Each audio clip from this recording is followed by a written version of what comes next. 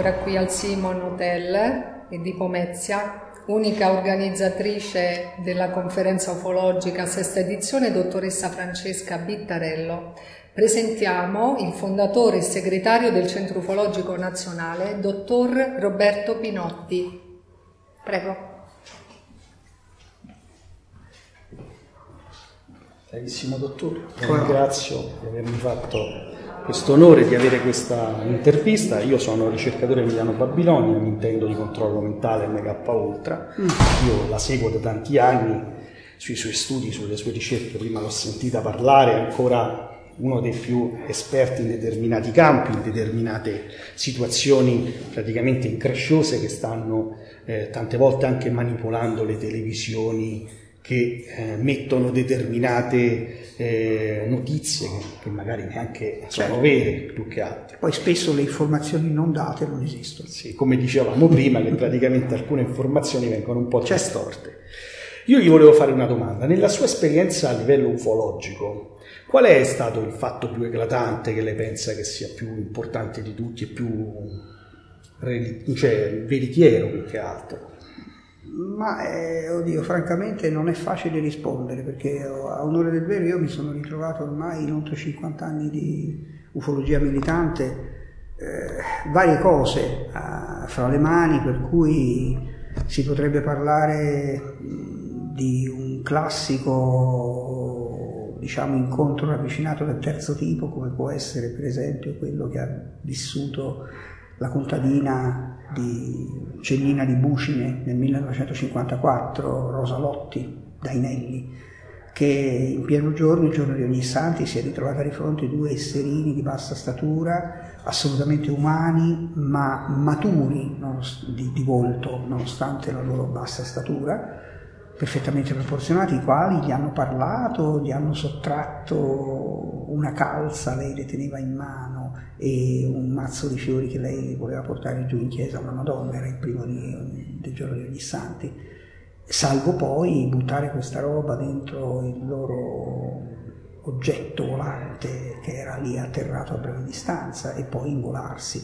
Ecco, l'incontro con questa donna è sicuramente stato molto importante perché mi ha confermato uno dei casi meglio documentati al mondo in cui questa donna non soltanto ha avuto questa esperienza eccezionale, ma l'oggetto è stato visto atterrare da un, da un cacciatore, è stato visto decollare da un bracconiere, è stato, lei è stata vista dalla collina di fronte da due ragazzini che accudivano ai maiali. Eh, quindi insomma eh, tutta una serie di prove contro, è stata interrogata addirittura anche dalle autorità militari all'epoca.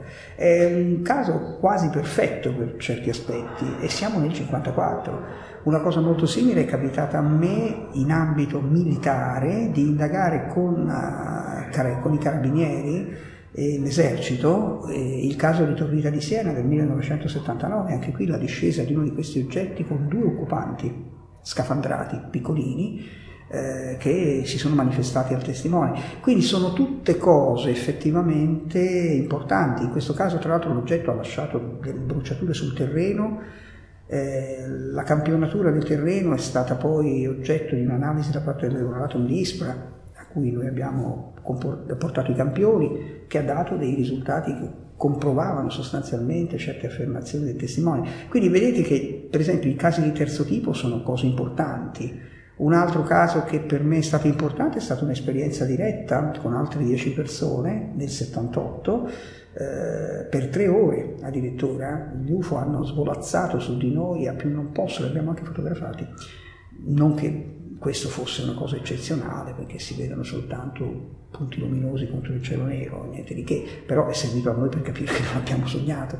Mm, cioè tutte queste cose fanno parte di un'esperienza di tipo personale. Poi Arriviamo a inchieste di altro tipo, io per esempio sono l'unico italiano che in epoca non sospetta in anni diversi, il 91 e il 97, 98, ha investigato il caso Roswell in eh, USA, conoscendo e interrogando ancora vivi i testimoni che oggi non ci sono più, No? Quindi sono tutte cose importanti. Un'altra cosa sono state per esempio le analisi e le conferme dei documenti noti come i cosiddetti file fascisti, che in pratica, in pratica ritrodata il discorso ufologico agli anni 30 eh, e, e, spostano diciamo, nel, in Italia il paese che istituzionalmente per primo si è occupato del tema.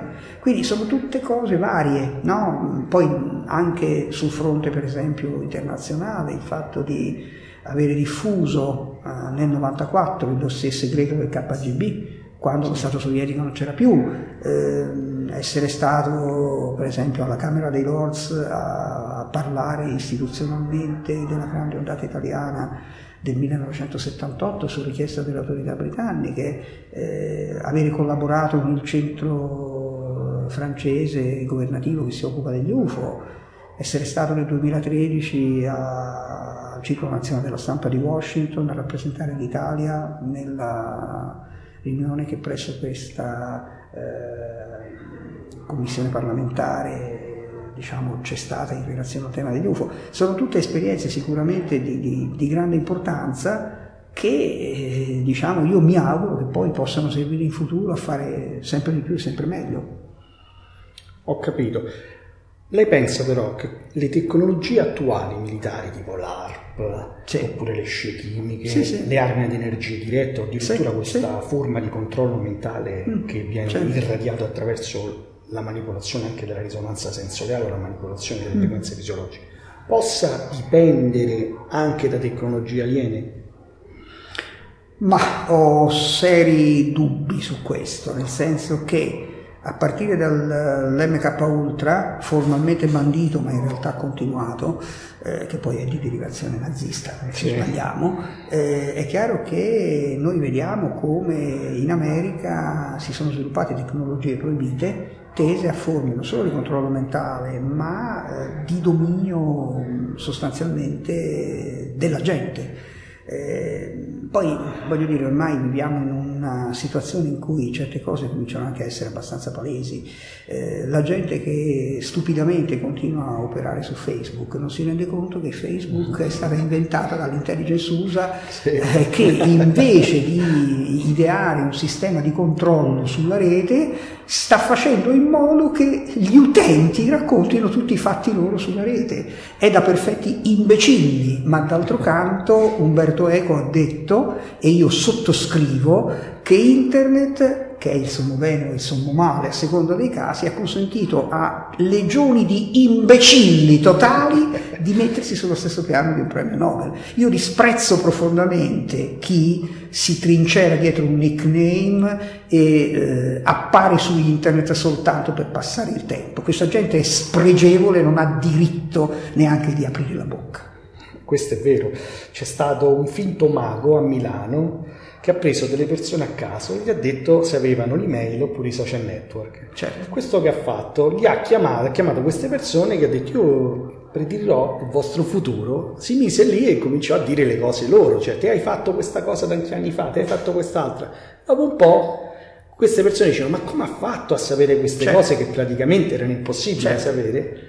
Hanno tirato giù una tenda e hanno fatto vedere che loro stavano solo sul loro sito praticamente di Facebook e quelle erano tutte le cose che loro avevano pubblicato in tutti questi anni. Certo, Quindi certo. rimane un archivio certo. di tutti i nostri movimenti, tutte le nostre cose. Assolutamente sì. Ormai siamo schedati totalmente. Se consideriamo che basta un telefonino per monitorarci a livello totale, no? sia nei nostri spostamenti che in altro. Quindi diciamo ormai siamo alla mercé di chi vuole usare certe tecnologie contro di noi, non è difficile.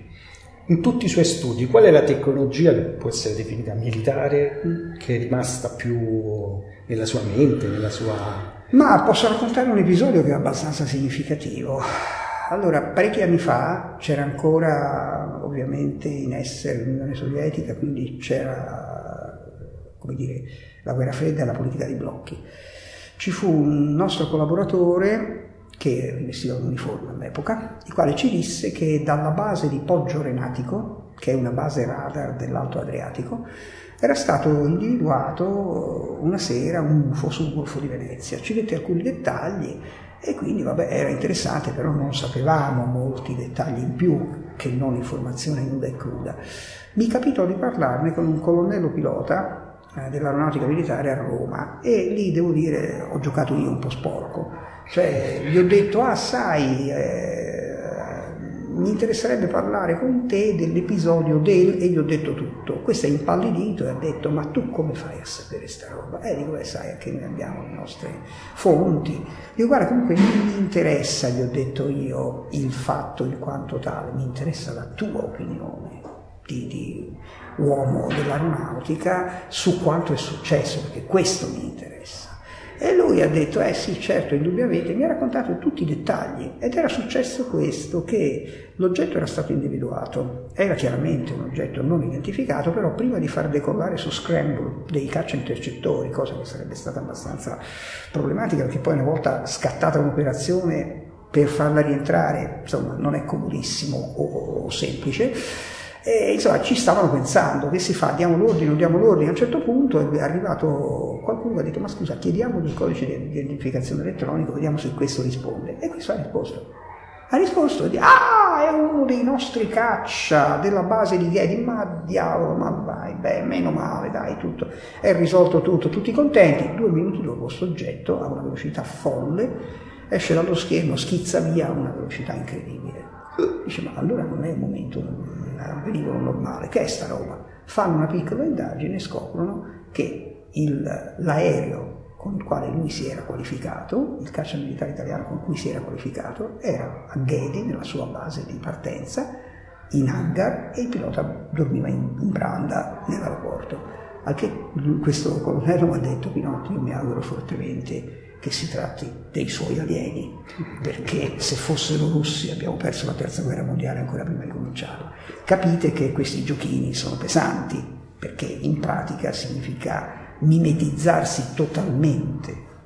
E un'altra volta c'è stato un caso clamoroso eh, che coinvolse la base di Cervia, mh, dei caccia, dei caccia dei, degli F-104 in discesa, eh, i quali praticamente si sono trovati in una situazione di, tutta particolare perché ci fu un blackout elettronico totale, sia in Carlinga sia a Cervia, per cui tutto buio, e il problema era scendere, come facevi?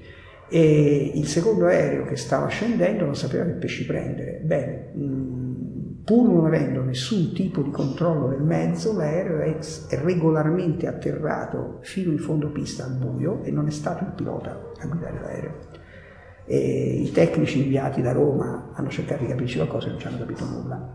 Quindi come mai c'è questo blackout, c'è la presenza di un oggetto non identificato e succede un fenomeno del genere? Capiamo benissimo che queste sono tecnologie che esulano dal normale come accanito di Caronia, che si spengevano le macchine certamente, passavano certamente, sotto le gallerie e poi si bloccavano. Certamente, Caronia è un altro vergognoso episodio in cui lo Stato è stato ancora una volta totalmente assente, sacrificando totalmente i eh, residenti, i quali essendo numericamente pochi, boh, insomma, se muoiono per esposizione a microonde o a campi elettromagnetici, chi se ne frega questo è stato di fatto calcolato. D'altro canto non dimentichiamo che lo Stato italiano è stato latitante in altre situazioni. Pensate per esempio alle situazioni dell'uranio impoverito. Eh, Il nostro attuale Presidente della Repubblica, Ministro della Difesa all'epoca, ha pervicacemente negato sempre questa cosa, salvo poi essere smentito dalla Nato stessa. Quindi per cortesia, i nostri politici dovrebbero andare tutti a casa, quelli che attualmente ci governano, perché non sono degni di sedere nei, nei posti dove attualmente siedono.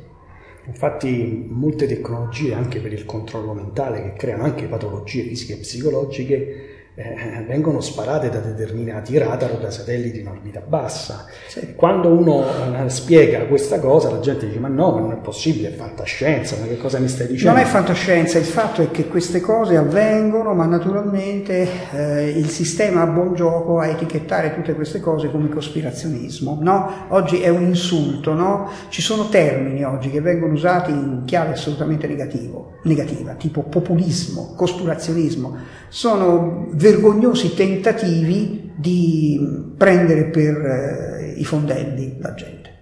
La ringrazio per questa intervista, spero di Fuori collaborare con lei in un futuro convegno. Vedremo, non si può mai sapere, perché no? La ringrazio tantissimo. Arrivederci. Arrivederci.